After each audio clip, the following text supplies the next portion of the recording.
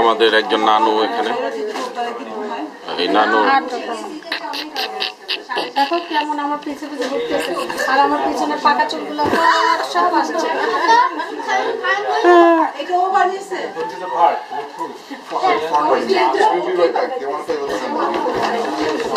সব আসছে